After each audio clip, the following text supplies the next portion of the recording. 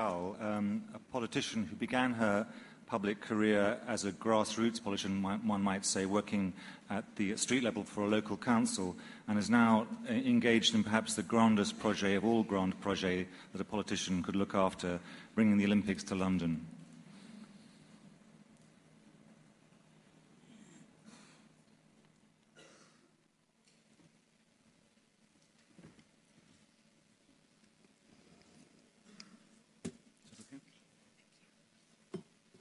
Well, good morning, um, everybody. And uh, it's, we're all united by a sense of sheer pleasure at being here in Mumbai and being together.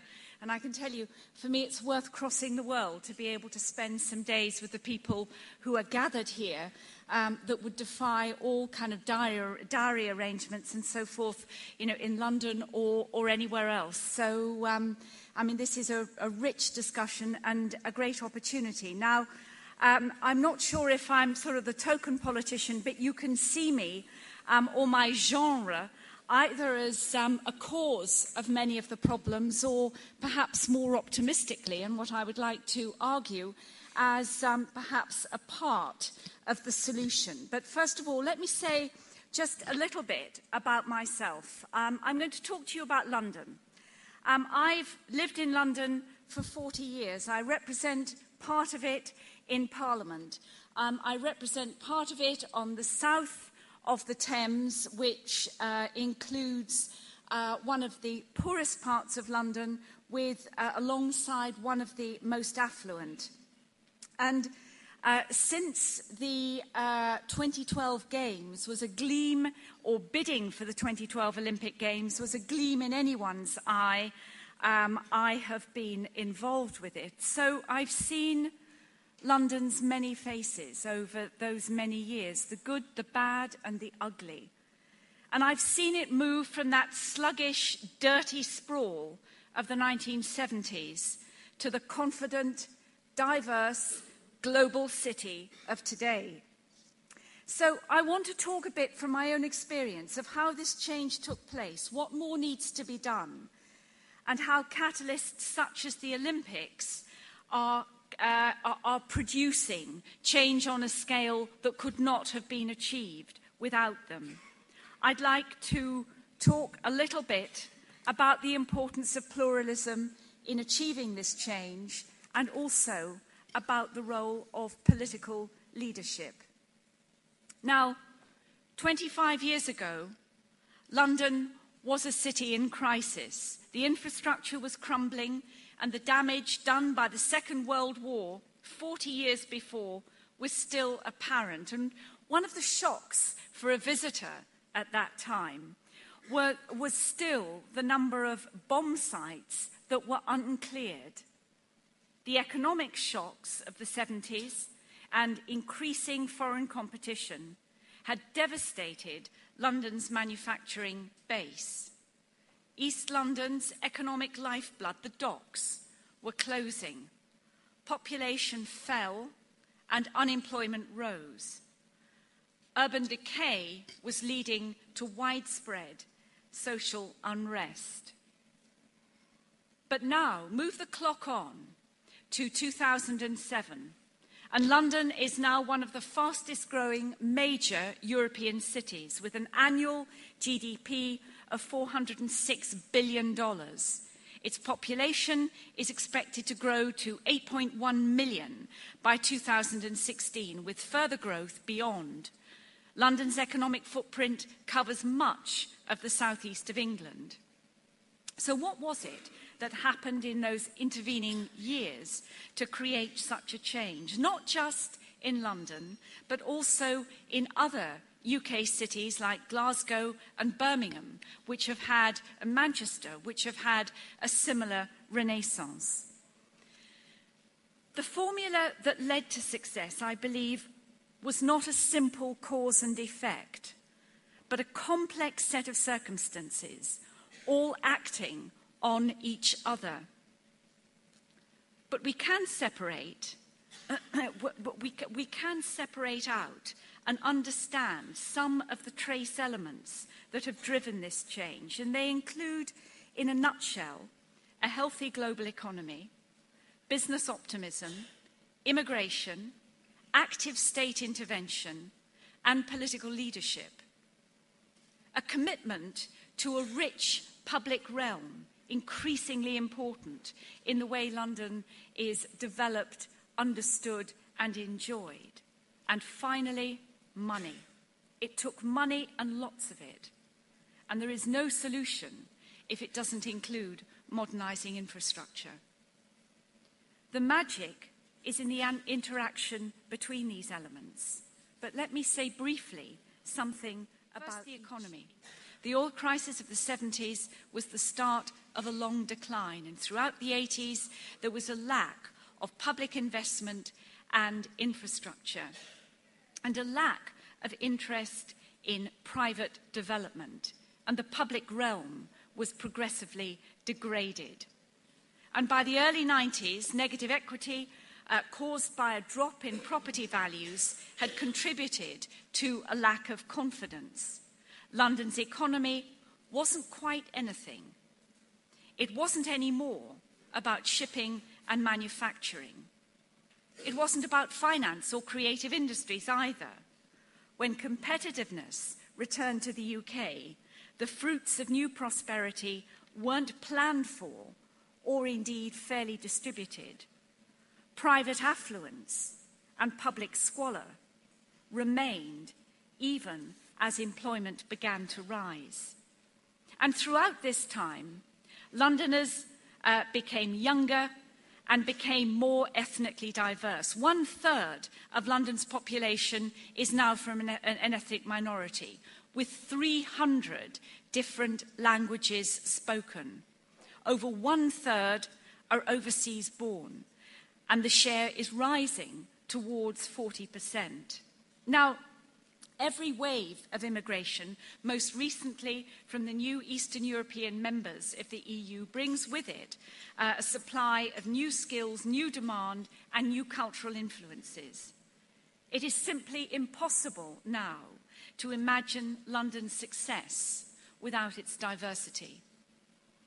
This factor is due not to specific government policy, but as a result of wider global trends. But London has been shaped in recent, recent years by a deliberate move away from the laissez faire of the 80s and the early 90s. Britain as a whole has enjoyed a stable economy in the last 10 years, and this has given confidence to private investors, domestic and foreign, to invest in the continued development of London. Our regulatory and fiscal framework for business has supported London's comparative, uh, comparative advantage in the global economy, not least in the creative industries and the traditional financial core. But vitally, London now has strong political leadership with an ambitious vision for the city.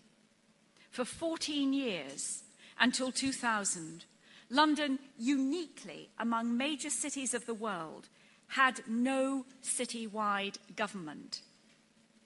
It was the Labour government, after its election in 1997, that set about putting in place the government for London, and with that, a directly elected executive mayor of London. The first mayor, Ken Livingstone, has successfully provided strategic leadership in the city uh, through, not, uh, through a range of confident and very purposeful policies. For instance, the, the introduction of congestion charging and the renewal of London's transport system. Now, what I'd like to go on to argue is that city renewal without strong political leadership is very difficult, if not impossible, to achieve. And, you know, condemn us in every respect that you can, but what your political leaders, when they share common belief, can bring is doggedness. And sometimes doggedness and an understanding of city aspiration which is ahead of its time. And let me give you a very specific example of this. I don't know how many of you know what uh, uh, Birmingham in the Midlands of England, which prides itself as um, uh, rather grudgingly, uh, if that's not too much of a contradiction, as, um, as the UK's second city. Others would now contest that. But in the, uh, in, in the late 80s, uh, Birmingham had a very strong, old fashioned uh, political leader who had been in place for a very long time. And he had a vision for what was the degraded centre, uh, the shambles that was the centre of Birmingham, which would be the creation of a new square, a world class conference centre, and a world class symphony hall. Now, you can perhaps imagine in a city that was reeling from the first recession and bracing itself for the second, that the idea of building a symphony hall with the finest acoustic in Europe was seen as somewhat unnecessary. But 25 years later, the Symphony Hall is the envy of the world, and every other major British city wants a symphony hall to emulate Birmingham and indeed other cities in Europe uh, the same. It would not have happened had it not been for the dogged vision of a political leader who believed in a different kind of future for his city and set about it with visionary self confidence. So, this in London has given for the first time in a generation a sense of purpose to our civic renewal. And after the Victorian surge of good works to provide quality of life, to improve public health through public spaces, the issue stagnated in the 90s. And since then, with the injection of capital from our national lottery, those spaces and amenities throughout our city have been revitalised and bolstered with an explosion of new cultural facilities in particular. London has the Tate, the most visited modern gallery in the world, four and a half million visitors a year. It has great theatres, galleries, and museums, more green space than any other city in the world, and people want to visit it. They want to live there, and that livability can only happen deliberately. It never evolves in an urban context, which leads me to money sustained public investment to foster London's regeneration and to ensure the necessary um, infrastructure is in place, particularly transport. The growth of Canary Wharf, the new commercial centre, has relied on it. Uh, and last month, the government gave the go ahead for the new Crossrail project, a £32 billion uh, public transport project. And later this month, Paris and London will be linked uh, little more than two hours away by the newly upgraded rail line. Crossrail will support 600,000 new jobs by 2016 in London's businesses. So, so far, London has reinvented itself successfully, but do not be blind or unseeing of the problems that remain. Those exacerbated by new wealth are profound and in the 12 months to June 2007, there was a decrease of 6% in firearm offences. And yet, two months ago, we as a government had to launch Tackling Gangs Action, a programme to take very specific action in specific neighbourhoods in London, Manchester, Birmingham, and Liverpool, where gun crime and gangs are causing desperate harm to the safety of those communities. And one of those communities is in London, uh, is in my own constituency. And at this time, last Friday, I was attending the funeral of a young 18 year old man, the father of a one year old son, who had been shot uh, for his mobile phone two months before. The funeral was attended by 1,000 young people as an act of more than anything else solidarity, and optimistic assertion that their community can be better.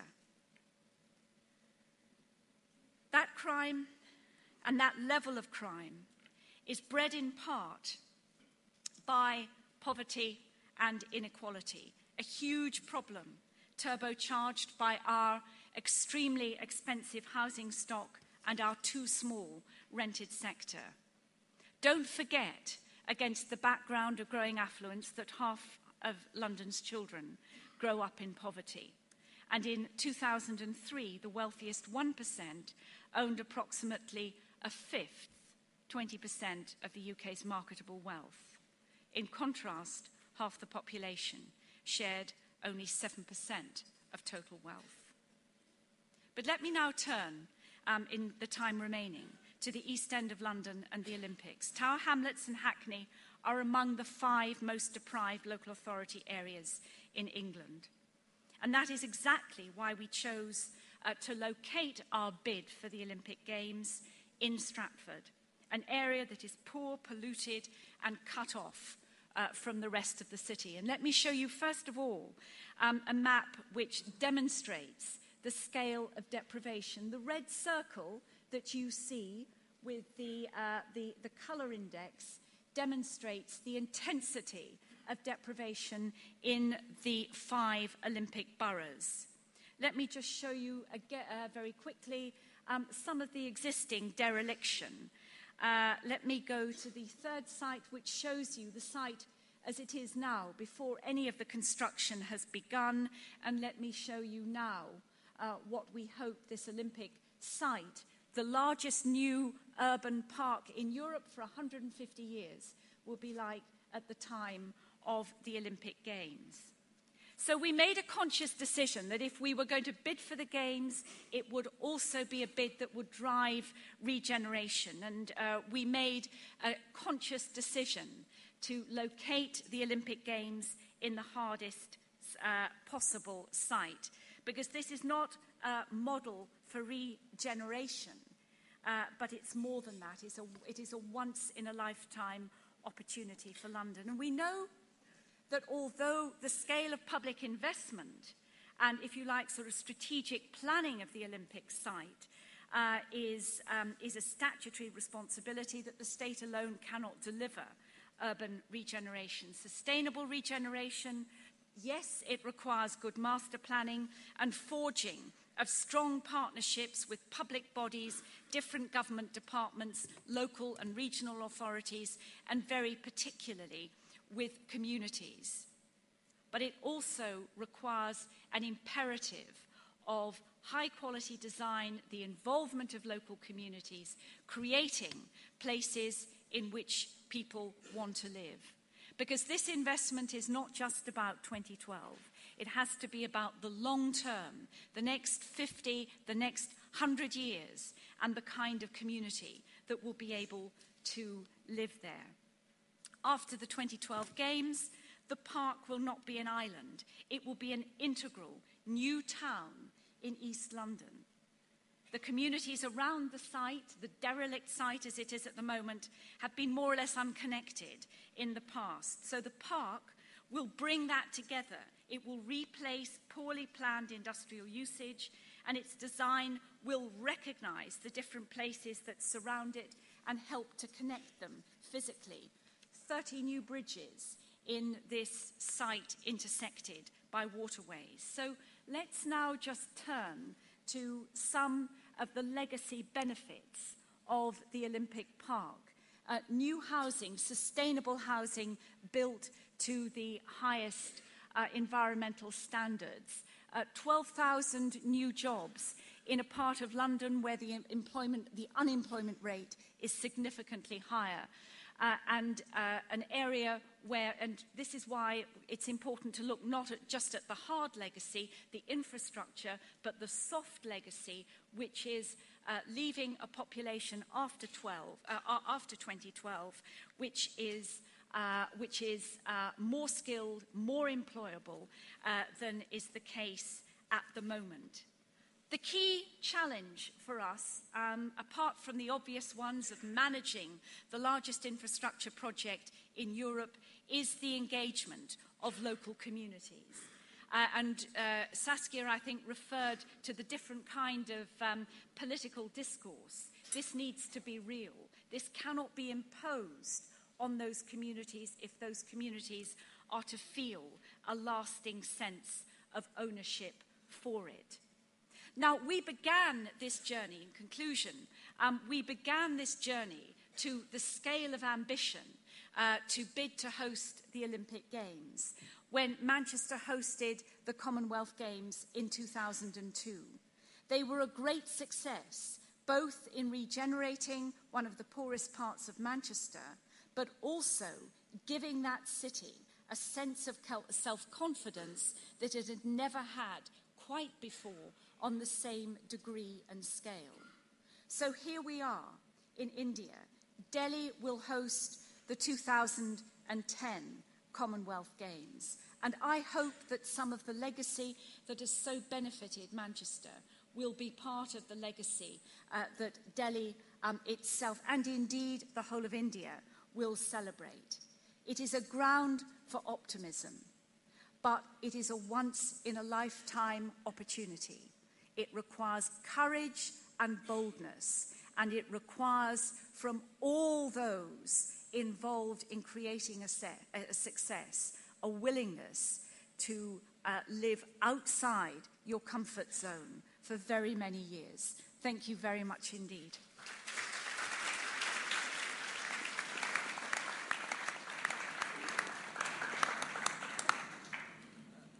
Thank you, Tessa, for that um, notably um, feet on the ground view of a great project in the future.